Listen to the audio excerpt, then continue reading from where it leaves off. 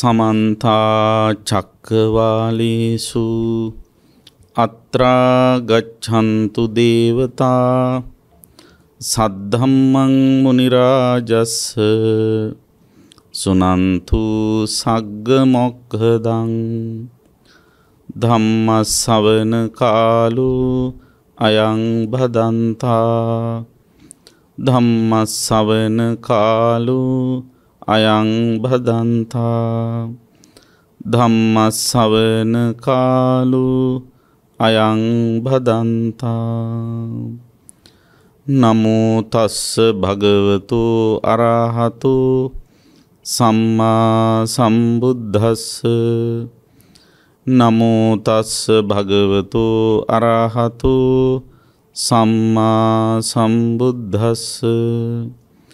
සම්බුද්ධස්ස නමෝතස්ස භගවතු අරහතු සම්මා සම්බුද්ධස්ස කින්නුකෝ ආවුසෝ සාරිපුත්ත සයං කතං ජරාමරණං පරංකතං ජරාමරණං යංකතංච පරං සයංකතංච පරංකතංච ජරාමරණං උදාහු අසයංකාරං අපරංකාරං අධිච්ච සමුපන්නං ජරාමරණන්ති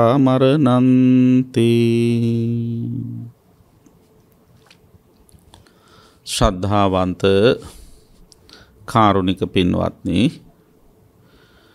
දැන් හැම දෙනාම සූදානම් වන්නේ ධර්මශ්‍රවනය කරන්න. ප්‍රඥා රූපවාහිනී නාලිකාව ඔබ වෙත මේ පැයට තිලින කරනු ලබන ධර්ම දේශනාවයි මේ විදිහට ශ්‍රවණය කරන්න හැමෝම සැදී පැහැදී සිටින්නේ. මෙම ධර්මදේශනාව සඳහා සැදැහැති දායකත්වය දරා කටයුතු කරන්නේ ඇමරිකා එක්සත් ජනපදයේ මිසූරි ප්‍රාන්තයේ පදිංචි අපේ කොළඹ හත බෞද්ධාලෝකමාවතේ නාරද බෞද්ධ ධර්මායතනයෙහි ප්‍රධාන දායිකාවක ලෙසින් කටයුතු කරන වෛද්‍ය වෙස්සමිතා වීරරත්න මහත්මනිය සහ දූ දරුවන් ඒකරාශී වෙලයි. එතුමිය ජීවත් වෙලා ඉන්න තමන්ගේ දරුවන්ට විශේෂයෙන්ම නිරන්තරයෙන්ම පින්කම් කර කර සුවිශේෂ ආශීර්වාද සිද්ධ කරන මෑණි කෙනෙක්. එතුමිය විශේෂයෙන්ම අපි දන්නවා පින්කමක් කළොත් නිතරම තමන්ගේ දරුවන් පුතාල දෙන්නට ලේලිල දෙන්නට මුණුපුරු මිනිබිරියන්ට තමයි වැඩියෙන්ම ආශිර්වාද කරන්න.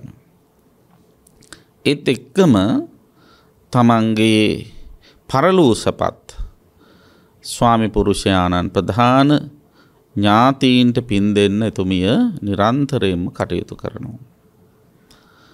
ඉතින් ලංකාවේ සිටියදීත් ඒවාගේම ලංකාවෙන් බැහැරව දැන් ඇමරිකාක්ෂත් ජනපද පදිංචිව සිටියදීත් ලංකාව ගැනම හිත තියාගෙන නිතරම පින් දහම්වලට නැඹුරු මනසකින් එතුමිය කටයුතු කරන්නේ. විශේෂයෙන්ම අද මේ පින්කම කරන්නේ නාවල විජයබාමාවතේ පදිංචිව සිට මීට වසර අටකට පෙර එනම් දෙදහස් දාහතර වර්ෂයේ ජූනි මාසි දාසයවෙනිදා පරලෝසපත් වූ වෛද්‍ය සුසන්ත වීරරත්න දෑබර ස්වාමි පුරුෂයාණන්ට ආදරණීය පියාණන් වහන්සේට පින් අනුමෝදන් කරන්න. එතුමා මේ පින් අනුමෝදන් වෙලා සසර භවගමන සුවපත් කරගෙන ඉක්මන් භවයකදීම නිවන් සුවය සාක්ෂාත් කර ගනීවා කියන පැතුමින් එතුමාට පින් අනුමෝදන් කරන්නයි පින්කම කරන්න. ඒත් එක්කම දෙපාර්ශ්වයේම පරලෝසපත් දෙමාපියන් වහන්සේලා වන LDS කරුණාරත්න පියාණන්ට ක්ලැරිස් වයලට් කරුණාරත්න මෑණියන්ට ඩෝ වීරරත්න පියාණන්ට ලිලියන් වීරරත්න මෑණියන් සහ වෛද්‍ය බන්දුල කරුණාරත්න මහේන්ද්‍ර කරුණාරත්න ආනන්ද වීරරත්න විජේ වීරරත්න යන සොහොයුරන්ට පරම්පරාගත සියලු ඥාතීන්ට පින් අනුමෝදන් කරන්න එතුමිය බලාපොරොත්තු වෙනවා. විදෙස්ගතව සිටින දූ දරුවන්ට මිනිබිරිය මුණුබුරා සහ සොහොයුරියන් ඇතුළු පවුලේ සෑම සියලු දෙනාටම නිදුක් නීරෝගී සුව චිරජීවනය ප්‍රාර්ථනා කරනවා. දේශකයාණන් වහන්සේට නිදුක් නීරෝගී සුව චිරජීවනය සැලසේවා ඉතා ඉක්මන් භවයකදී උතුම් ධර්මාවබෝධය ලැබීම පිණිස මෙම පුණ්‍ය ශක්තිය වහල් වේවා කියලා ප්‍රාර්ථනා කරනවා. දේශකයාණන් වහන්සේගේ දයාබර මෑණියන් වන සාමා ගජනායක මාතාවටද පින් අනුමෝදන් කරනවා.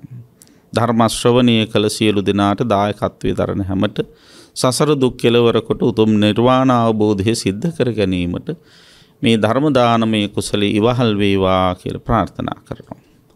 දායකත්වයේ දරා කටයුතු කරන පින්වත් වෛද්‍ය වෙස්සමිතා වීරරත්න මෑණියන් ප්‍රධාන දරුවන්ගේ ඒ සිතැඟි සිතුම් පැතුම් ප්‍රාර්ථනා බලාපොරොත්තු සියල්ල එලෙසින්ම ඉෂ්ට වේවා කියලා අපි පළමුවෙන්ම ප්‍රාර්ථනා කරනවා. පිනතුනි අද මේ වෙලාවේ ධර්ම දේශනාව සඳහා මා ඔබට කියලා දෙන්න බලාපොරොත්තු වන්නේ සංයුක්ත නිකායේ අභිසමය සංයුක්තයේ මහා වර්ගයෙහි සඳහන් නල කලාප සූත්‍රය. බොහෝ දෙනා මේ සූත්‍රය අහලා ඇති. අභිසමය සංයුක්තයේ තියෙන පටිච්ච සමුප්පාදය පිළිබඳව බුදුරජාණන් වහන්සේ විසින් කරන ලද විග්‍රහයන් ඇතුළත් සූත්‍ර දේශනා. තින් නල කලාප සූත්‍රයේත් පටිච්ච සම්පාදය පිළිබඳව විග්‍රහයක් තියෙන්නේ. නල කලාප කියන වචන තේරුම් බට මිටි කියන එකයි. බට මිටි දෙකක් උපමාවට අරගෙන දේශනා කරපු සූත්‍ර දේශනාවක් නිසා මේකට නල කලාප කියන නම යොදල තියෙන සංගීතිකාරකයන් වහන්සේලා විසින්. තර මේ සූත්‍ර දේශනාව හරියට බැලුවොත් ශ්‍රාවක භාෂිත සූත්‍ර දේශනාව. සාරිපුත්ත මහරහතන් වහන්සේ සහ කොට්ටිත මහරහතන් වහන්සේ අතර ඇතිවෙච්ච ධර්ම සංවාදයක් තමයි මේ සූත්‍රයේදී විග්‍රහ වෙන්නේ. ඒ වගේම මේ සූත්‍රයේදී සූත්‍ර අවසානයේ සඳහන් වෙනවා තවත් විශේෂ කාරණා වක්. ඒ විශේෂ කාරණාව තමයි හැබැයි ධර්ම කතික භික්ෂුව කියන්නේ කවුද. එවගේම හැබෑ ධර්මානු ධර්ම ප්‍රතිපන්න භික්ෂුව කියන්නේ කවුද. ඒවාගේම දිට්ට ධම්ම නිබ්බාන පත්ත භික්ෂුව කියන්නේ කවුද. කියන කාරණාව මෙහිදී අවධාරණය කරනවා. දැන් ධර්ම කතික භික්‍ෂූන් වහන්සේල බොහෝ දෙනා ඉන විචිත්‍ර ධර්ම කතික ප්‍රසිද්ධ ධර්ම කතික විවිධාකාරයෙන් හඳුන්වන ධර්ම කතිකයන් වහන්සේලා ඉන්නවනේ. ඒ අතරේ බුදුරජාණන් වහන්සේගේ ඉගැන්වීමට අනුව හැබෑ ධර්ම කතිකයන් වහන්සේ මොන වගේ කෙනෙද. හැබෑ ධර්ම කතිකයන් වහන්සේ මොනොද කියන්නේ ධර්ම දේශනාවලදී. කියන එක මෙහිදී අවධාරණය කරනවා. ඒ වගේම දැන් බොහෝ දෙනා හිතාගෙන ඉන්න මේ ධම්මානු ධම්ම ප්‍රතිපන්න වුණාම ගොඩක් අය හිතාගෙන ඉන්නේ මේ සිල් සමාදන් වෙන එක විතරයි කියලානේ. නමුත් හැබැයි ධර්ම ධර්මානු ධර්ම ප්‍රතිපන්න කෙනෙක් මොන වගේද කියලා මෙහි සඳහන් කරනවා. ඒ වගේම දිට්ඨ ධම්ම නිබ්බානප්පත්ත පුද්ගලයා. දිට්ඨ ධම්ම කියන්නේ මෙලොවදීම කියන එකනේ. නිබ්බානපත්ත කියලා කියන්නේ නිවනට පැමිණි. ඒ කියන්නේ නිවන සාක්ෂාත් කරපු පුද්ගලයා. මෙලොවදීම නිවන සාක්ෂාත් කරගන්න පුළුවන් පුද්ගලයා මොන විදිහේ කටයුත්තක්ද කරන්නේ කියලා අවධාරණය කරනවා. එහිදී බුදුරජාණන් වහන්සේ දේශනා කරන මේ ජරා මරණ මුල් කරගත්ත පටිච්ච සමුපාද සූත්‍ර පටිච්ච සමුපාද ධර්මතා තියෙනවනේ. දැන් ජරාමරණයෙන් පටන් ගන්න පටිච්ච සමුපාදයක් තියෙන අවිද්‍යාවෙන් පටන් ගන්න පටිච්ච සමුපාදයක් තියෙනවා. දැන් අවිද්‍යාව කියලා කියන්නේ පටිච්ච සමුපාද විග්‍රහයේ ප්‍රතිලෝම අනුලෝම ක්‍රමය. අනුලෝම ක්‍රමය ප්‍රතිලෝම ක්‍රමේ පටන් ගන්න ජරාමරණ වලින්. ඒක ඇතු දන්නවා. දැන් සරලව අපි ඉස්සෙල්ලාම දැන් මේ නලකලාප සූත්‍රයේ පටිච්ච සම්පාද විග්‍රහයක් නේ තියෙන්නේ. ඒ නිසා ඒ පටිච්ච සමුපාදය අපි ප්‍රතිලෝම විදිහට නැතුව ඉස්සෙල්ලා අනුලෝම ක්‍රමයෙන් තේරුම් ගන්න බලමු. නාමිකව කොහොමද? අවිජ්ජා පච්චයා සංඛාරා සංඛාර පච්චයා විඥානං විඥාන පච්චයා නාම රූපං නාම රූප පච්චයා සලායතන සලායතන පච්චයා පස්සෝ පස්ස පච්චයා වේදනා වේදනා පච්චයා තණ්හා තණ්හා පච්චයා උපාදානං උපාදාන පච්චයා භවෝ භව පච්චයා ජාති ජාති පච්චයා ජරා මරණ ඊට පස්සේ ශෝක පරිදේව දුක්ඛ දෝමනස් උපායාස සම්භවಂತಿ කියලා සඳහන් කරනවා. දැන් ඕක අපි ආපහු අග ඉඳලා මුලට හේතු හොයාගෙන ගියොත් ජරා මරණ දෙක ඇති වුණේ මිනිස්සු ශෝක පරිදේව දුක්ඛ දෝමනස් උපායාස සහිත වූ ජරා මරණ දෙකට පත් වුණේ මොකක් නිසාද? ජරා මරණ කියලා කියන්නේ වයසට යන එකයි මැරෙන එකයිනේ. මේ ඇයි මිනිස්සු මැරෙන්නේ? ඇයි මිනිස්සු වයසට යන්නේ? ඔන්න හේතුව හොයන්න. කියන්න හේතුව මොකද්ද කියලා. වයසට යන්නෙත් මැරෙන්නෙත් වෙන දෙයක් නිසා නෙවෙයි. ඉපදුන නිසා, ජාතිය නිසා. ඉපදුනේ ඇයි? ඉපදුනේ ඇයි කියලා ඇහුවොත් උත්තරේ මොකද්ද? ඉපදෙන්නට අවශ්‍ය කරන කර්ම සැකසී තිබුණ නිසා. ඒකට කියන්නේ භවය නිසා. ජාතිය ඇති වෙන්නේ භවය නිසා. එතකොට ඉපදීමට අවශ්‍ය කරන කර්ම සැකසිලා තිබීමෙවත් භවය ඇති වෙන්නේ ඇයි? උපාදානය නිසා. උපාදාන පච්චය භව කියලානේ කියන්නේ. උපාදානය කියලා කියන්නේ අරමුණු ආසාවල් ඇතිවෙච්ච අරමුණු තදින් හිතේ තියාගන්න ස්වභාවයට. එතකොට ඒ උපාදානය ඇති වුණේ මොකක් නිසාද? අරමුණෙහි තණ්හාවෙන් බැඳුන නිසා. තණ්හා පච්චය උපාදානං. තර තණ්හාව ඇති වුණේ කොහොමද අරමුණු වින්ද නිසා වේදනාපච්චයා තන්හා. එතර වේදනාව ඇතිවෙන්නේ මොකක් නිසාද කාරණා තුනක එකතුව නිසා. අධ්‍යාත්මික ආයතනයයි බාහිර ආයතනයයි ආයතන බද්ධ විඤ්ඥානයයි. කියන තුන එකතුව නිසා තමයි ස්පර්ශය ඇතිවෙන්. එතුනේ එකතුව තමයි ස්පර්ශය කියන ස්පර්ශයත් නිසා තමයි වේදනාව ඇතිවෙන්. තර ස්පර්ශය කියන්නේ තින්නන් සංගති පස්සු. තුනක එකතුව. දැන් ඇහැ සම්බන්ධයෙන් ගත්තොත් මොකද තුන. ඇහැයි ඇහැට පේන රූපයයි ඇහැ සුරහි තියෙන චක්කු විඤ්ඥානයි. ඔන්න ඔය තුන එකතු කරන ස්වභාවයට කියෙන චක්කු සම්පස්සේ කිය. ඒ චක්කු සම්පහසේ නිසා හට ගන්න වේදනාවට කියන චක්කු සම්පහසජා වේදනා කියලා. එන වේදනාව හටගන්න ස්පර්ශය නිසා ස්පර්ශය හටගන්නේ මොකක් නිසාද. කියලා ආපහු බලන්න ඕනවා. එතට සලායතන පච්චයා පස්සෝ. ඇහැකණනාසේ දිවශරීරයේ මනස කියන ඉන්ද්‍රයන් මේ ආයතන හය හින්ද තමයි ස්පාර්ශය ඇති වෙන්නේ. එතකොට සලායතන කොහේද ක්‍රියාත්මක වෙන්න කියල බලන්න ඕනන. සලායතන තියෙන්නේ නාම රූප මුල් කරගෙන. නේද. නාම රූප පච්චයා සලායතනම්. එතොර නාම රූප ඇති වෙන්නේ මොකක් නිසාද විඤ්ඥානය මුල් කරගෙන විඤ්ඥාන පච්චයා නාම රූප. එතර විඤ්ඥානයේ පැවැත්මට උපකාර වෙන්න මොකද විඤ්ඥානය ක්‍රියාත් වෙන මොනුව නිසා සංකාර පච්චයා විඤ්ඥාන. සංස්කාර නිසා. තර සංස්කාර ගොඩනගන්න මොකක් නිසාද අවිද්‍යාව නිසා. ආනේ විදිහට ප්‍රතිලෝම ක්‍රමයටත් ඕක අපිට කල්පනා කරන්න පුළුවන්කම තියෙනවා. එතකොට මෙන්න මේ කියන පටිච්ච සමුප්පාදය අනුලෝම වශයෙන් ප්‍රතිලෝම වශයෙන් කවුරු හරි කෙනෙක් හොඳට කියල දෙනවන. අන්නේ කියල දෙන කෙනා තමයි ධර්ම කතික භික්‍ෂුව වෙන්න. එතකට බලන්න පටිච්ච සමුපාදය කියල දෙන භික්‍ෂුව හැබෑම ධර්ම කතික භික්‍ෂුවක් කියන එක තමයි මෙහිදී අවධාරණය කරලා තියෙන. ඒවාගේම ධම්මානු ධම්ම ප්‍රතිපන්න භික්‍ෂුව වෙන්නේ කවුද. ධම්මානු ධම්ම ප්‍රතිපන්න භික්‍ෂුව වෙන්නේ යම් කිසි කෙනෙ යම් භික්‍ෂුවක් ඔය පටිච්ච සමුපාදයේ සඳහන් වෙන කාරණාවන් නිරුද්ධ කිරීම පිණිසට පිළිපදිනවන. දැන් ජරාමරණ දෙක නැති කිරීම සඳහා යම් වැඩ පිළිවෙලක් අනුගමනය කරනවනා. ජාතිය නැතිකිරීම සඳහා යම් වැඩ පිළිවෙල ජාති නිරෝධය සඳහා යම් වැඩ පිළිවෙලක් අනුගමනය කරනවන. උපාදාන නිරෝධය සඳහා යම් වැඩ පිළිවෙලක් අනුගමනය කරනවන. තන්හා නිරෝධය සඳහා යම් වැඩ පිළිවෙලක් අනුගමනය කරන අන්නේ අනුගමනය කරන භික්‍ෂුව තමයි ධම්මානු ධම්ම ප්‍රතිපන්න භික්ෂුව වෙන්නේ. එතකොට බලන්න කොතරම් ගැඹුරු ඉගැන්වීමක්ද මේ තුළ තියෙන කියන එක.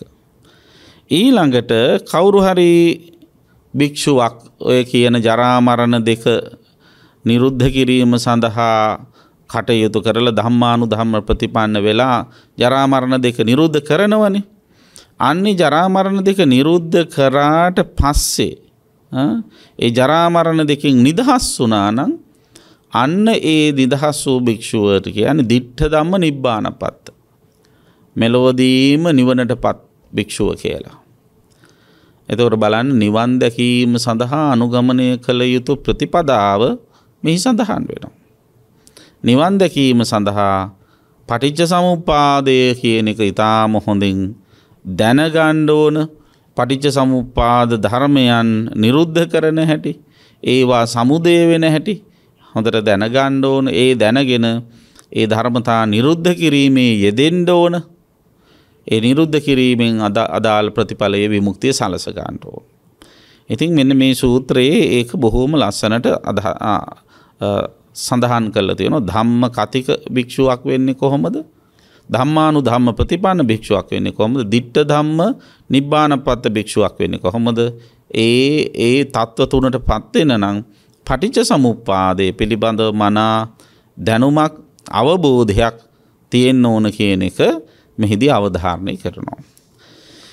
ඉතින් මේ නලකලාප සූත්‍රය සාරිපුත්ත මහරහතන් වහන්සේ මහා කොට්ටිත මහරහතන් වහන්සේ අතර වෙච්ච ධර්ම සංවාදයක් කියලා මා මතක් කළානේ. මේ ධර්ම සංවාදයේ සිද්ධ වෙලා තියෙන්නේ බරණැස ඉසිපතනාරාමේදී. එක අවස්ථාවකදී මහා කොට්ටිත මහරහතන් වහන්සේ සවස් කාලේ භාවනාවෙන් නැගිටලා පල සමවතින් නැගිටලා ඒ අසල සාරිපුත්ත මහරහතන් වහන්සේ වැඩ ඉන්නවාය කියලා දැනගෙන උන්වහන්සේ වෙතට ගියා. උන්වහන්සේ වෙතට ගිහිල සතුරු සාමීචයේ කතා බැහැ යෙදලා කොටිත මහරහතන් වහන්සේ සාරිපුත්ත මහරහතන් වහන්සේගෙන් ප්‍රශ්නයක් අහනවා. කින්නුකෝ ආවුසෝ සාරිපුත්ත සයංකතං ජරාමරණ ඇවැත්නී සාරිපුත්තයන් වහන්ස මේ ජරාමරණ දෙක සයංකතං තමා විසින් කරන ලද්දද්ද කියලහනවා. පරංකතන් ජරාමරණ එහෙම නැත්තං ජරාමරණ දෙක අනු අනිත් අය විසින් කරන ලද එකක්ද කියලහනවා. එක කියන්නේ ජරාමරණ දෙක කියන්නේ දැන් ගත්තොත් අපි සරලව ජරාව කියන්නේ වයසට යන එකනේ. එහෙම මරණයට පත් වෙනවා කියන්නේ මැරෙන එක. එතකොට මේ වයසට යන එකයි මැරෙන එකයි අනිත් අය විසින්ද අපිට කරන්නේ. අනිත් අයගේ බලයක් නිසාද අපි මේ වයසට යන්නේ. අනිත් අයගේ ඕන එපාකම් වලටද අපි මේ මැරෙන්නේ කියලා අහන්න.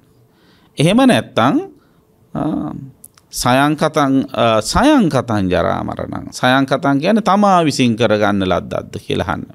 ඉසෙලහන්න ඒක. ජරාමරණ දෙක සයංකතන් සයංකතන් කියන තමන් විසින් කරන ලද්දත්ද. එලට පරංකතන් ජරාමරණ. එහෙම නැත්තං ජරාමරණ දෙක අනිත් අය විසින් අපිට කරන එකක්ද. එහෙමත් නැත්තං සයංකතංච පරංකතංච ජරාම තමනුත් තමන් විසිනුත් කරන අනිත් අය විසිනුත් කරන එකක්ද ජරාමරණ දෙක. එහෙමත් නැතම් උදාහු අසයංකාරං අපරංකාරං අධිච්ච සමුප්පන්නං. තමන් විසිනුත් කරන්නේ නැති අනිත් අය විසිනුත් කරන්නේ නැති ඉබේ වෙන එකක්ද මේ ජරාමරණය කියල ඇහුව. මිනිස්සු මේ වයසට යන්නේ මිනිස්සු ලෙඩ වෙන්නේ තමන්ගේ ක්‍රියාවක ප්‍රතිඵලයක් විදිහටද. අනුන්ගේ ක්‍රියාවක ප්‍රතිඵලයක් විදිහටද. එහෙම නැත්තන් තමන්ගේ අනුන්ගේ දෙගොල්ලාගෙම ක්‍රියාවක ප්‍රතිඵලයක් විදිහටද. එහෙම නැත්තන් තමන්ගේත් අනුන්ගේ දෙදෙනගේම ක්‍රියාවක ප්‍රතිඵලයක් නැතුව ඉබේ වෙන එකක්ද මේ කියල ඇහෝ. ඒ වෙලාවේ බුදුරජාණන් මේ සාරිපුත්ත මහරහතන් වහන්සේ මහකොට්ටිත මහරහතන් වහන්සේට සිහිපත් කරනවා මේ ජරාමරණ දෙක තමන් විසින් කරන ලද්දක් නෙවෙයි. ඒ වගේම ජරාමරණ දෙක අනුන් විසින් කරන ලද්දකුත් නෙවේ. සයන් කතත් නෙවෙයි පරං කතත් නෙවෙයි. ඒ වගේම ජරාමරණ දෙක තමන් විසිනුත් අනුන් විසිනුත් කරන ලද්දක් නෙවේ. ඒ විතරක් නෙවෙයි. ජරාමරණ දෙක තමන් විසින් නොකරන ලද්දේ අනුන් විසින් නොකරන ලද්දේ ඉබේ හටගන්න එකකුත් නෙවේ. කියලා සාරිපුත්ත මහරහතන් වහන්සේ මතක් කරනවා. එහෙම වනාට එහෙම වනාට ජරාමරණ දෙක අධිච්ච සමුපන්න කියල වචනයක් මෙතන පාවිච්ච කන මේ ඉබේ හටගන්න කර අධිච්ච සමුපන්න ඉබේ හටගන්න එකත්. බුදුර මේ සානිපුත මහරහතන් වහන්සේ මතක් කරනවා එහෙම එකක් නෙවෙයි. ජරාමරණ දෙක ජාතිය ප්‍රත්‍යය කරගෙනයි හටගන්න කියලා. එතකොට ඒක පටිච්ච සමුපන්න වෙනවා. පටිච්ච කියන වචනේ පාවිච්චි කරන්න අපි නිසා කියන එක. සමුපන්න කියලා කියන්නේ හට ගන්නවා. නිසා හට ගන්නවා. කුමක් නිසාද? යම් කිසි හේතුවක් නිසා. ආන්න හේතුවක් නිසා ඵලයක් හට ගන්නවා කියන අදහසින් මේ පටිච්ච සමුපාදයට හේතුඵල න්‍යාය කියලා කියනවා. දැන් ජරා මරණ දෙකට හේතුව තමයි ජාතිය. ତර ජාතිය තමයි හේතුව ඵලය තමයි ජරා මරණ. එතකොට හේතු ඵල දහම කියලා කියන්නේ පටිච්ච සමුප්පාදය කියන්නේ පටිච්ච කියන්නේ නිසානේ කුමක් නිසාද? ජාතිය නිසා සමුප්පන්න කියන්නේ හටගත්ත මොකද්ද හටගත්තේ ජරා මරණ දෙක. ඒකයි පටිච්ච සමුප්පන්න කියන්නේ. හේතුවක් නිසා ඵලයක් හටගන්නා ස්වභාවය. එහෙනම් හේතුව නිසා තමයි ඵලය හටගත්තේ. ඉතින් හේතුවක් නැත්තම් ඵලයක් හට ගැනීමක් සිද්ධ වෙන්නේ නැහැ. හේතුවක් ඇති තැන ඵලයක් තියෙනවා හේතුවක් නැති තැන ඵලයක් නෑ කියලා අපි තේරුම් ගන්න. එතකොට මේ හේතුව කවුරුවත් විසින් ඇති කරවන්නක්ය තමන් විසින් ඇති කරන්නක්ය අනුන් විසින් ඇති කරන්නක්ය කියලා එහෙම කියන්නේ බැහැ එහෙම කියන්නේ නෑ. මේ හේතුව තියෙන නිසා මෙන්න මේ ඵලය තියෙනවා. යම් හේතුවකින් මේ හේතුව නැද්ද එතන මේ ඵලය නෑ කියන එක වටහා ගැනීම වැදගත් වෙනවා. එතකොට ජරාමරණ දෙක ඇති වුණේ මොකක් නිසාද ඉපදුන නිසා. ඉපදීමක් ඇති තැන ජරාමරණ දෙකක් වෙනවා. ඉපදෙන ඉපදීමක් වෙනවා නම් වයසට යනව ලෙඩ මැරෙනවා ඒක ස්වභාවයක්. එක ස්වභාවයක් ඒ අපි තේරුම් ගන්න. උපතට ඇති ආවේනික ස්වභාවය මකදද ජරාව සහ මරණය. එතකොට උපදින එක මොකකර ස්වභාවයක්ද. උපදින එක උපතට අවශ්‍ය කරන කර්ම සැකසිලා තියෙන එකට ස්වභාවයක්. උපතට අවශ්‍ය කරන කර්ම සැකසිලා තියෙන එකට කියනමකද භවය. භවය නිසා ජාතිය හටගන්න එක. හෙවත් උපතට අවශ්‍ය කරන කර්ම සැකසිලා තියෙන නිසා උපදින එක ස්වභාවයක්. ඉට පස එහෙම කර්ම සැකසෙන්නේ ඇයි. කර්ම සැකසෙන්නේ උපාදානය මුල් කරගත්ත නිසා. අර අරමුණු උපාදානයෙන් ළඟට අරගෙන හිතේ හිතට ගත්ත නිසා. අනෙක්ත උපාදාන කියන්න. එතර උපාදානය නිසා තමයි භවය විපාක පිණිස කර්ම සැකසී තිබීම හෙවත් හිතේ රැඳී තියෙන ස්වභාවයට පත්වේ. එතුර ඇයි එහෙම ළඟට ගත්තේ ළඟට ගත්තේ තන්හාව නිසා. තන්හා පච්චා උපාදානන් කියලන කියෙන් තන්හාාවෙන් බැඳුන නිසා. දර තන්හාාවෙන් බැඳීම ඇඳීමට ආවේනික ස්වභාවමකක්ද අර උපාදානයට යනවා. හිත ඊට පසේ ඒවයි තන්හාාවෙන් අල්ල ගන්නවා. ඇදල ගන්න ළඟට ගන්නවා. එතකොට ඊ ළඟටමකද තන්හාාව ඇති වුණේ ඇයි. තන්හාාව ඇති වුණේ වේදනාව නිසා. වේදනාව නිසා අරමුණ වින්ද නිසා. එතට දැම් මෙන්න මෙතනදී අපි තේරුම් ගන්න ඕන දෙයක් තියෙනවා. දැන් අරමුණු විඳින තැනට එනකම්ම එක ඕනම කෙනෙක් කරන වැඩක්. හැබැයි යම් කිසි කෙනෙක් විඳින අරමුණු මුල් කරගෙන තන්හාාව ඇති කරගන්නේ නැතුව ඉන්නවනං අන්න යාට මොකදේට එයාට තන්හාාව ඇති කරගන්න නැත්තං තන්හාාව නිසා හටගන්න උපාදානය ඇති වෙන්න. උපාදානය නැති නිසා උපාදානය නිසා හටගන්න භවය ඇති වෙන්නේ නැහැ. භවය නැති නිසා භවය නිසා හටගන්න ජාතිය ඇති වෙන්නේ ජාතිය නැති නිසා ජාතිය නිසා හටගන්න ජරා මරණ නැහැ. ජරා මරණ නැත්තම් ජරා මරණ මුල් කරගෙන හටගන්න ශෝක පරිදේව දුක්ඛ දෝමනස උපායාස කියන මේ කිසිම දුකක් ඇති වෙන්නේ නැහැ. එතකොට අන්නේ දුක ඇති නැති කරගෙන ඉඳීම සඳහා මොකද කරන්න ඕන මෙන්න මේ අරමුණු විඳින වෙලාව සිහිය නුවණ පාවිච්චි කරලා හොඳට කටයුතු කිරීම වැදගත් වෙනවා. දැන් එතකොට අපි දැනගන්න ඕන මේ අරමුණු විඳින තැනට එනකන් කොහොමද මේ අනිත් කටයුතු සැකසෙන්නේ කියලා. දැන් වේදනාව ඇති වෙන්නේ මොකක් නිසාද? ස්පර්ශය නිසා. පස්සපච්චයා වේදනානේ. දර ස්පර්ශය කියල කියන්නේ මොකක්ද අර කාරණා තුනක එකතු වීමටනේ. එතොර ඒ කාරණා තුනේ තියෙනවා ආයතන සලායතන තියෙනවා. අධ්‍යාත්මික ආයතන හයත් තියෙන බාහිර ආයතනත් තියෙනවා. එතකොට ඒ සලායතන ක්‍රියාත්මක වෙන්නේ කොහෙද අධ්‍යාත්මික ආයතන හය ක්‍රියාත්මක වෙන්නේ නාම රූපත් එක්ක.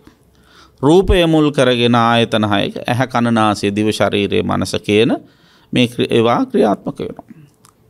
එතකොට දැම් බලන්න රූපය මුල් කරගෙන ඇහැ කණ නාසේ දිව ශරීරය කියන පහ ක්‍රියාත්මක වෙනවා. ඒ වාගේම නාමය මුල් කරගෙන විඤ්ඥානය ක්‍රියාත්මක වෙනවා. එතකොට අන්න එතනදී අපි තේරුම් ගන්න ඕන මේ ආයතන සලායතනවල තියෙනවනේ ආයතන හයක් ඒ හයෙන් මුල් පහ රූපයත් එක්ක ක්‍රියාත්මක වෙනවත් එක්කම අග විඤ්ඥානය කියන එක නාම ධර්මත් එක්ක ක්‍රියාතු කන නාම කියල කියන්න එතන මොනාද පස්ස වේදනා සංඥා චේතනා මනසිකාර ආදී වශයෙන් සඳහන් කරන සිතුවිලි. සිතුවිලිත් එක තමයි වෙන්නේ. එතකොට ඔන්න සලායතන මුල් කරගෙන තමයි ස්පර්ශය හටගන්න සලායතන ඇති වෙන නාමරූප නිසා.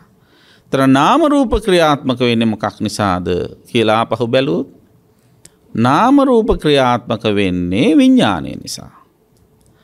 අන්න මෙතන විඤ්ඥානය මුල් කරගෙන නාමරූප ක්‍රියාත්මක වෙනවා නාමරූප මුල් කරගෙන විඤ්ඥානය ක්‍රියාත්මක වෙනවා කියලා දෙකක් සඳහන් කරනවා. ඒක තමයි මෙතෙන්දී මේ නලකලාප සූත්‍රයේදී විශේෂ අවධානය අවධාරණය යොදල තියෙන තැන. විඤ්ඥාන පච්චයා නාමරූපං නාමරූප පච්චයා සලායතන නාමරූප පච්චයා විඤ්ඥානං කියලා. එතකොට මෙතෙන්දී තේරුම් ගන්න ඕන එකක් තියෙනවා. ඒ තමයි මේ විඤ්ඥානය එකක් තමයි ආයතන බද්ධ විඤ්ඥානයක් ගැන මෙතන කතා වෙනවා. ආයතන බද්ධ විඤ්ඥාන. අපි දන්නවා විඤ්ඥාන හයක් තියෙනවනේ නේද. චක්කු විඤ්ඥාන සෝත විඤ්ඥාන ගාන විඤ්ඥාන ජිව්හා විඤ්ඥාන කාය විඤ්ඥාන මනෝවිඤ්ඥාන කියල විඤ්ඥාන හයක් තියෙනවා. එතොර මේ සලායතන වලම සලායතන හා බැඳුන විඤ්ඥානයක් ක්‍රියාත්මක වෙනවා කියන එක අපි තේරුම් ගණ්ඩ ඕන. තර ඇහැ කණ නාසය දිව ශරීරය කියන මේවා රූපය හා බැඳිල පවතිනවා. ඒවාගේම විඤ්ඥානයකුත් ක්‍රියාත්මක වෙනවා. ඒ රූපය හා බැඳිලම තමයි විඤ්ඥානය තියෙන්නේ. හැබැයි ඒ විඤ්ඥානයේ පැවැත්මට උපකාර වෙන්නේ මොනවද විඤ්ඥානයේ පැවැත්මට උපකාර වෙන්නේ නාම ධර්ම. මොනවද ඒ නාම ධර්ම ඒ තමයි වේදනා පස්ස වේදනා සංඥා චේතන ආදී වශයෙන් සඳහන් කරන්න.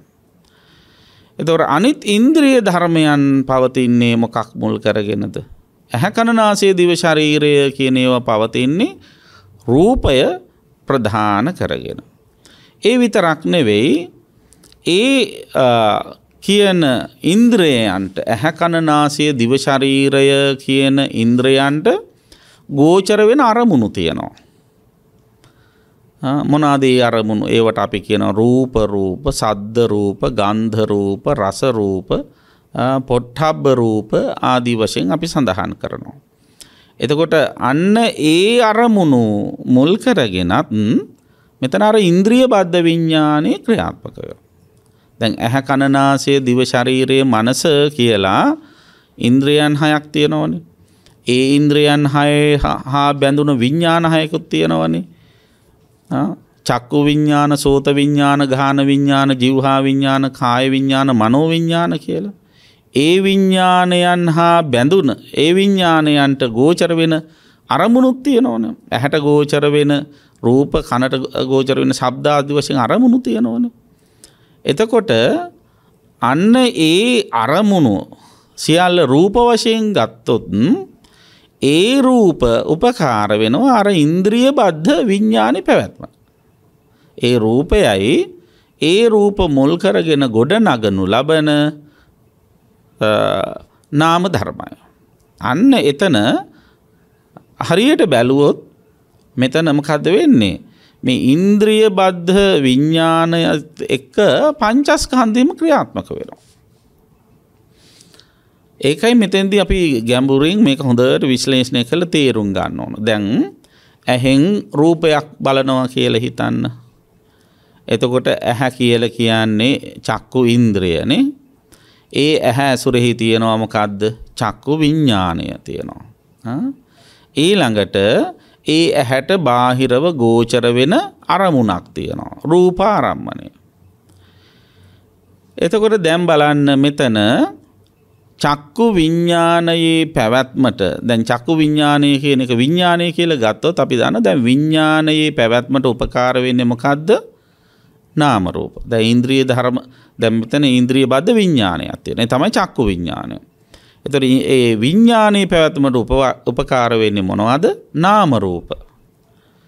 එතර අපි බලමු දැන් චක්කු විඤ්ඥානයේ පැවැත්මට උපකාර වෙන නාමරූප නොද කියලා. චක්කු විඤ්ඥානය ගත්තොත් දැන් චක්කු විඤ්ඥානයේ පැවැත්මට උපකාර වෙන රූපය තමයි අර රූපරූපය හැට පේන රූපය. එතකොට චක්කු විඤ්ඥානයේ පැවැත්මට උපකාර වෙන නාම ධර්මමුණෝද. නාම ධර්ම තමයි අර පංචස්කන්ධ ක්‍රියා අර රූපය මුල් කරගෙන පංචස්කන්දයක් ඇති වෙනවන. අන්නේ ඇතිවෙන නාම ධර්ම මොනාදේ. ඒ තමයි වේදනා සංඥා සංකාර විඤ්ඥාන කිය. එතොට අන්න එතන නාම ධර්ම ක්‍රියාත්මකයක් වෙනවා. එතොර මෙතනදීම කද වෙන්නේ. වේදනාවක් ඇති වෙනවා ඒක නාම ගණයට අයිති වෙන්නේ. සංඥාවක් ඇතිවන ඒ රූපය ආඳුන ගන්නවා ඒක සංඥා ඒ රූපය මුල් කරගෙන සිතිවිල්ලක් ඇතිවෙන සංකාරය සියල්ල දැනගන්නවා විඤ්ඥානය. එතකොට අන්න ඒ කාරණාටික ඔක්කොම එකතු වෙච්ච තැනති පහළ වෙනමකක්ද චක්කු විඤ්ඥානය. තර චක්කු විඤ්ඥානයේ පැවැත්මට උපකාර වෙනවා මොකදද රූපයක් සහ නාම ධර්ම හතරක්. වේදනා සංඥා සංකාර විඤ්ඥාන කියන නාම ධර්ම හතරක්. එතකොට චක්කු විඤ්ඥානයක් පහළ වෙනවා කියල කියන්නේ මකදද. පංචස්කන්දයක් පහළ වෙනවා කියන එකයි. පංචස්කන්දයක් පහළ වෙනවා. එතකොට ඒ හැටම තවරූපයක් දකිනකොට මොකද වෙන්නේ ඒ තවත් චක්කු විඤ්ඥානයක් පහළ වෙනකොට තවත් පංචස්කන්දයක් පහළ වෙනවා. ඒ වගේම කනට ශබ්දයක් ඇහෙනකොටත් ඔය විදිහටම මොකද වෙන්නේ සෝත විඤ්ඥානයක් පහළ වෙනකොට තව පංචස්කන්දයක් පහළ වෙන. අන්නේ විදිහට මේ විඤ්ඥාන ඉන්ද්‍රිය බද්ධ විඤ්ඥානයේ පැවැත්මට මේ නාමරූප ධර්ම උපකාර වෙනවා කියන එක අපි තේරුම් ගන්නට ඕන.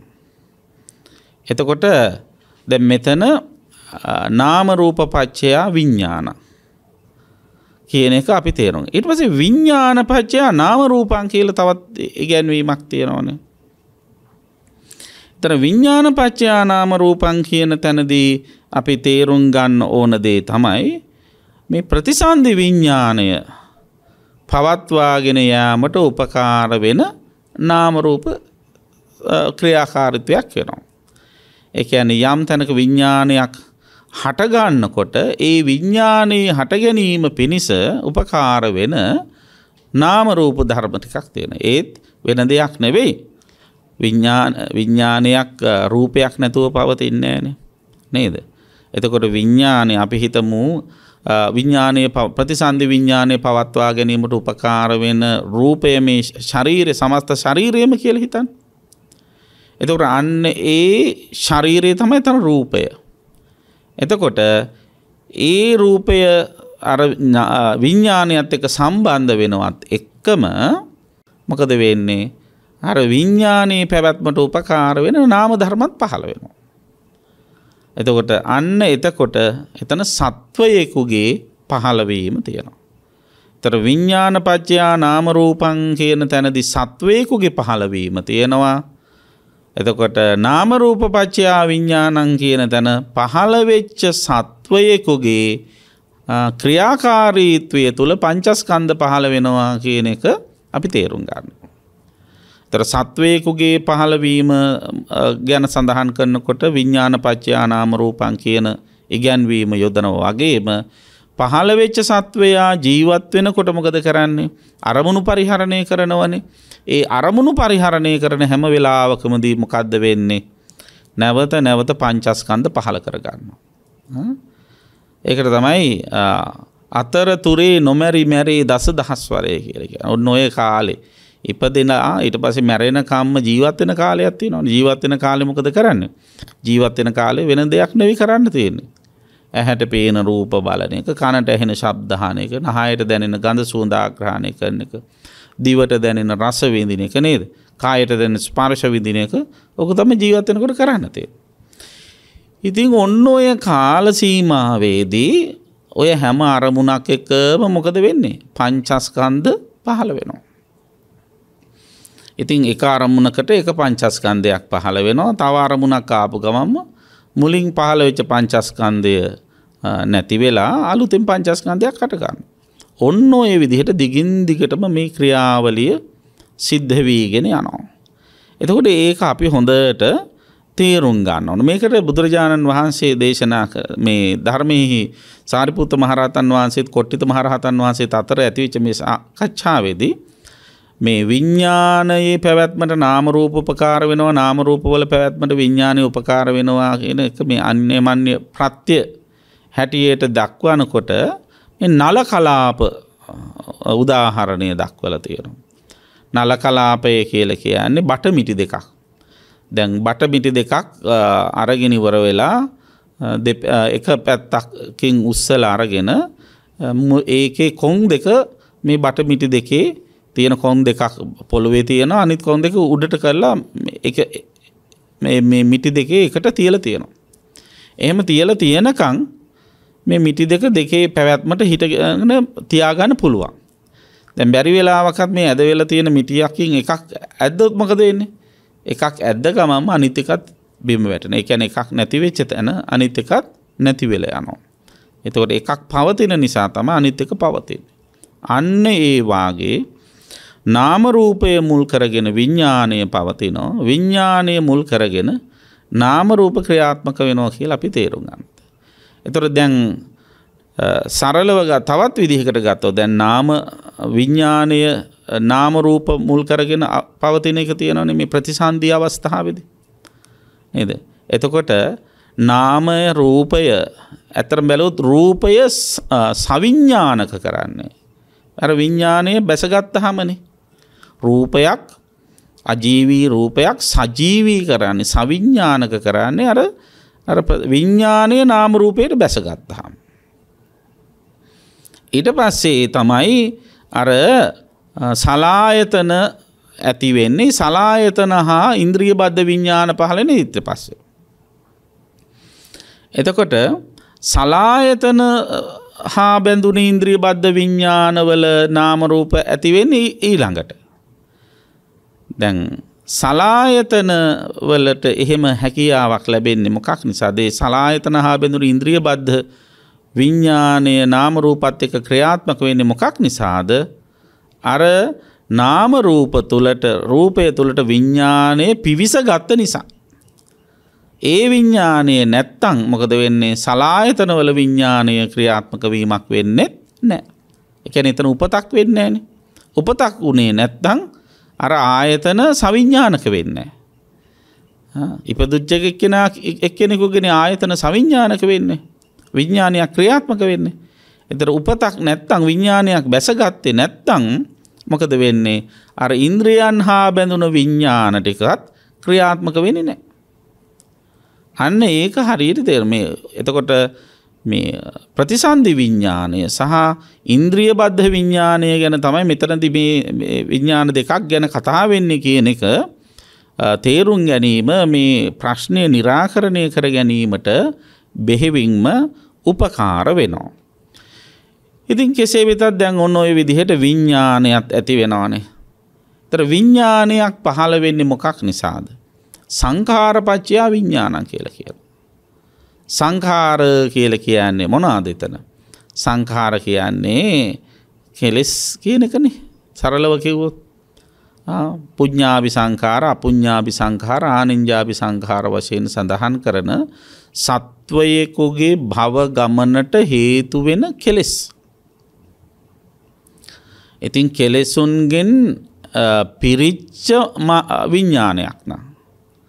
කෙලෙසුන්ගෙන් පිරිච විඤ්ඥානයක් තමයි නාමරූප අල්ලගන්න නාමරූප ඔස්සේ අර ප්‍රතිසන්දිය කරා ගමන් කරන්න.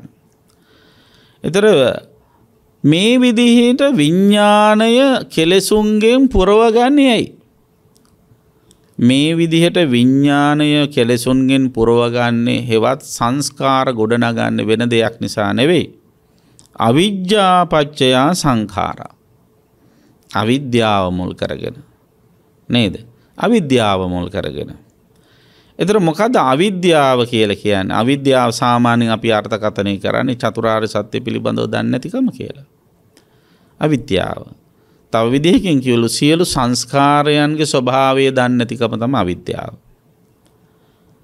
සියලු සංස්කාරයන්ගේ ස්වභාවයමකක්ද. සබ්බේ සංකාරා නිච්ච.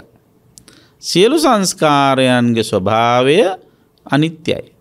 අනිත්‍යයි කියනෙමකද අනිත්‍යයි කියන ඇතිවල නැතිවල යන වෙනස් වෙල යන.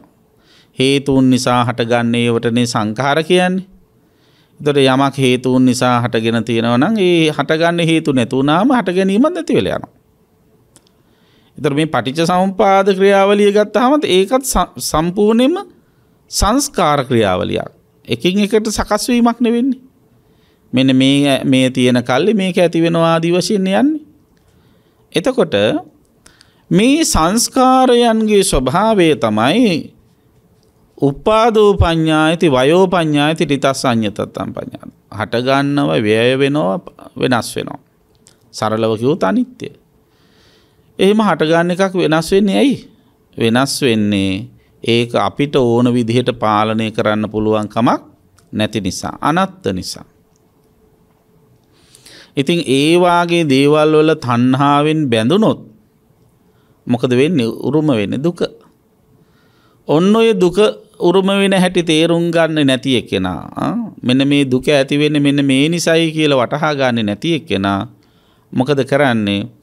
අර අනිත්‍ය වූ අනත්ත වූ අරමුණු නිත්‍යයි සුකයි කියලා කල්පනා කරලිවරල ආත්මයි කියල කල්පනා කරල ඒවයි තන්හාාවෙන් බැදෙනවා.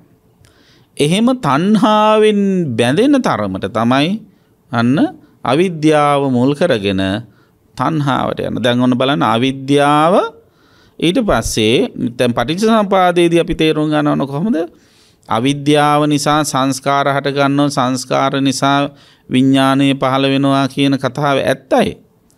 ඒත් එක්කම දැන් ජීවත් වෙලා ඉන්න මන දැන් පුද්ගලය මේ භවයට ප්‍රවේශ වනානේ ජීවත් වෙලා ඉන්න කෙනෙක් ඒ ප්‍රවේශ වෙච්ච එක්කෙනගේ හිතේ කොහොමද දැන් මේ අර ඇති කරගනු ලබන අරමුණුත් එක්ක තන්නහාාව ඇති වෙන්නේ.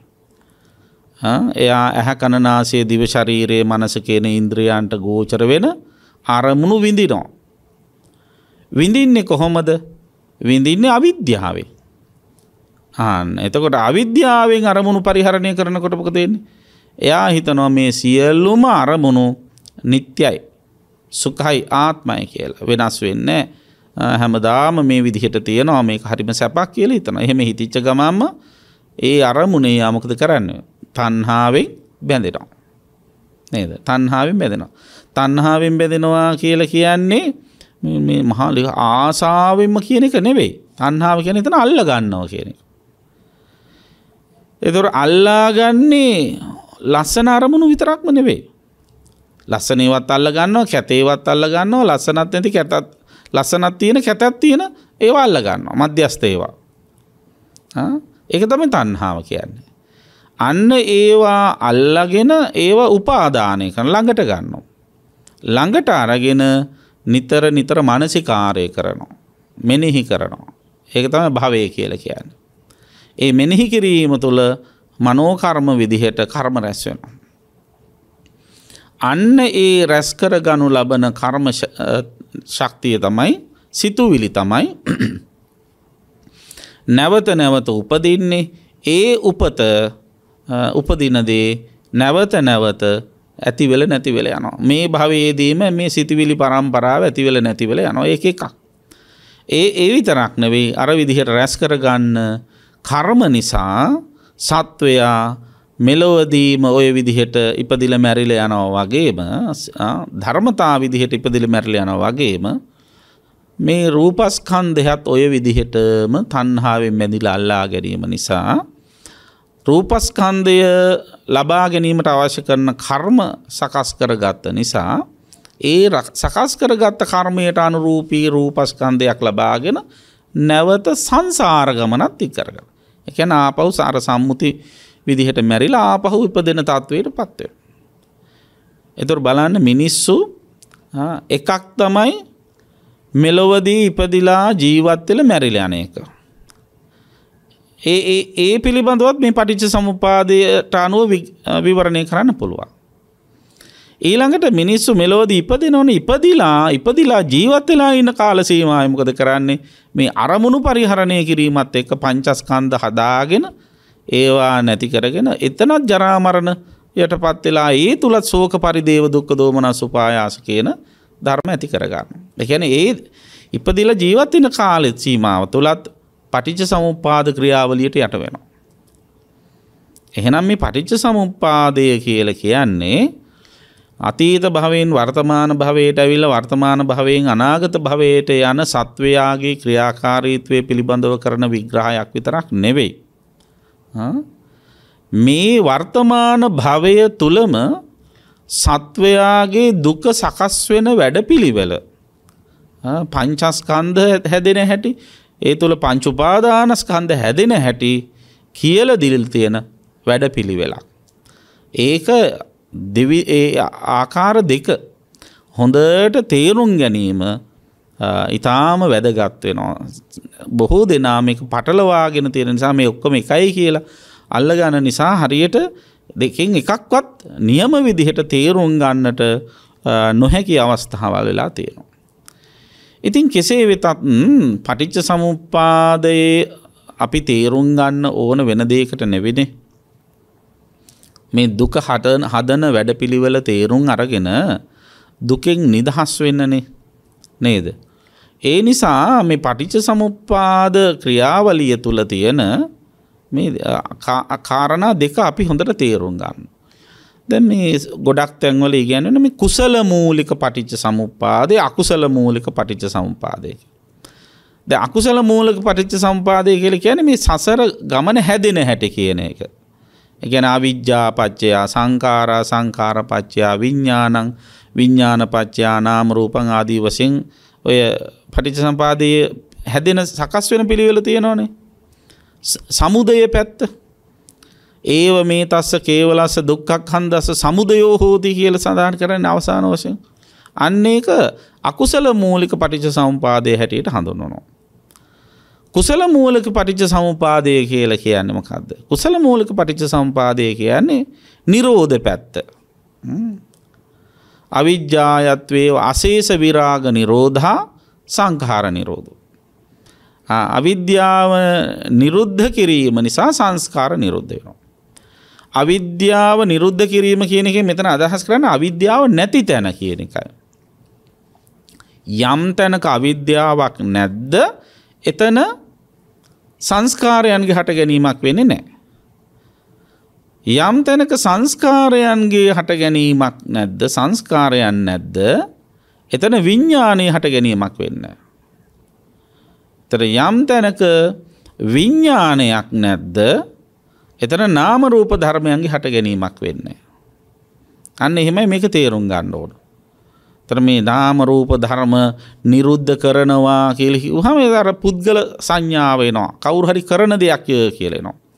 එහෙම නැතුව මේක තේරුම් ගන්න මේක මේ ඇතිකල්හි මේ ඇත මේ නැතිකල්හි මේ නැත කියන අස්මින් සති ඉදං හෝති අස්මින් අසති ඉදං හෝති කියන ඒ ගැන්වීම තේරුම් ගන්නට ඕන. එතකොට නාමරූප නැති කල්හි නිරෝධය කෙලික නේකයි. නිරුද්ධ කරනවා නිරුද්ධ කරාට පස්සේ ආදී වශයෙන් කතාවට යන්න එපා. නාමරූප නැති කල්හි මොකද වෙන්නේ සලායතන නෑ. සලායතන නැති කල්හි ස්පර්ශයක් හටගන්නේ ස්පර්ශයක් හටගත්තේ නැති කල්හි නැත්තං මොකද වෙන්නේ වේදනාවක් ඇති වෙන්නේ නෑ. දැන් ස්පර්ශය නිරුද්ධ කරනවා ඒ කතාවල්නේ වේදනාව නිරුද්ධ කරනවා කියන කතා නෙවේ. ස්පර්ශයක් ඇති වුණේ නැත්තං වේදනාවක් ඇති වෙන්න. වේදනාවක් ඇති වුණේ නැත්තං අන්න එතනිදි අපිට කරන්න පුළමකක්ද. තන්හාාවෙන් බැඳීමක් ඇති වෙන්න. තන්හාාවෙන් බැඳෙන්නතු ඉන්න පුළුව. තන්හාාවක් ඇති වෙන්නේ නැත්තං මකද වෙන්න උපාදානයක් ඇති වෙන්න. උපාදානයක් ඇතිවෙන්න නැත්තං භවයක් සැකසෙන්නේ. භවයක් සැකසුනේ නැත්තං ජාතියක් ඇති වෙන්නේ නෑ. නැවත ඉපදීමක් වෙන්නේ. නැවත හට ගැනීමක් වෙන්නේ. පංචස්කන්දයේ පහළවීමක් වෙන්නේ. එතකොට එහෙම නැවත හට ගැනීමක් වුණේ නැත්තං ජරාවක් නෑ ව්‍යාධයක් නෑ මරණයක් නෑ සෝක පරිදේව දුක්ක දෝමන සුපායාසයක් නෑ සරලව කිවොත් දුකක් නෑ. එතකොට මෙන්න මේ ක්‍රියාවලිය අපි මෙහෙම දකිින්ඩෝන්. නමුත් ගොඩක් අය පින්නතුනි මේ ස්වාභාවික එකින් එක ප්‍රත්‍යවීගෙන එන මේ ක්‍රියාවලිය තුළ මොකද කරන්නේ. මේ හැම එකක්ම සයං කතන් කියන අදහසදාගෙන තියෙන මේ ඔක්කොම මම කරන ඒවා කිය. මම තමයි අවිද්‍යාවෙන් වැහිල ඉන්නේ. ඒ අවිද්‍යාවෙන් ඇහිල සංස්කාර ගොඩ නගන්නේ මම ඒ සංස්කාර ගොඩ නැගීම නිසා විඤ්ඥානය මම තමයි විඤ්ඥානය සකස් කරගන්න. විඤ්ඥානය නිසා නාමසු රූප සකස් කරගන්නේ මම නාමරූප නිසා සලායතන සකස් කරගන්නේ මම.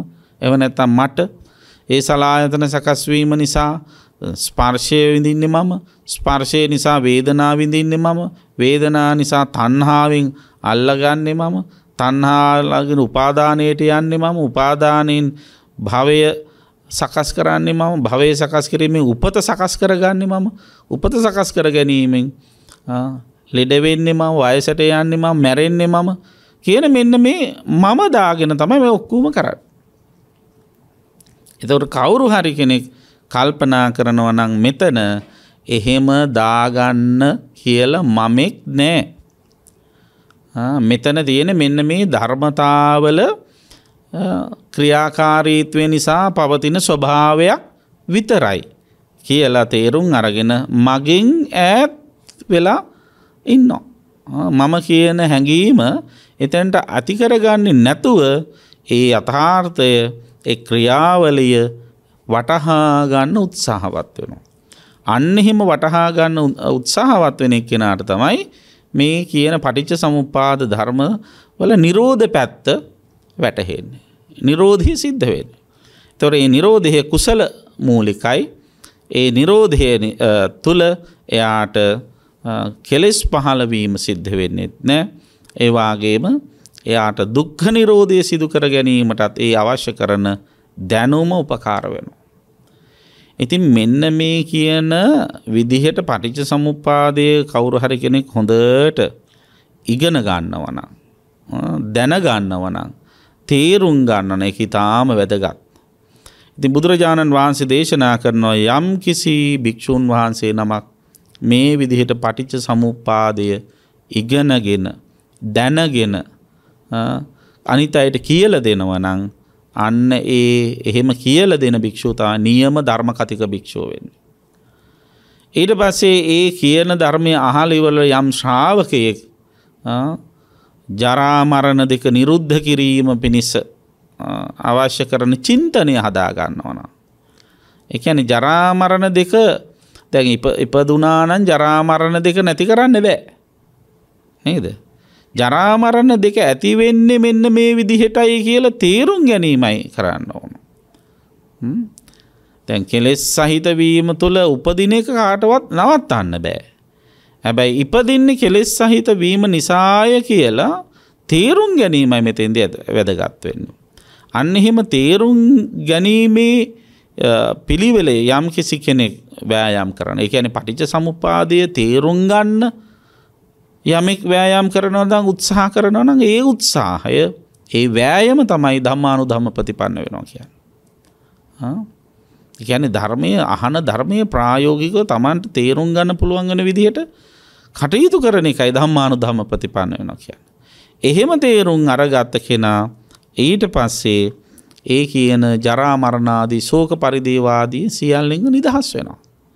එතකොට මේ දුකෙන් නිදහස් වෙනවා කියල කියන්නේ දුක සම්පූර්ණයෙන්ම නැති කරනවා කියන එක නෙවෙයි.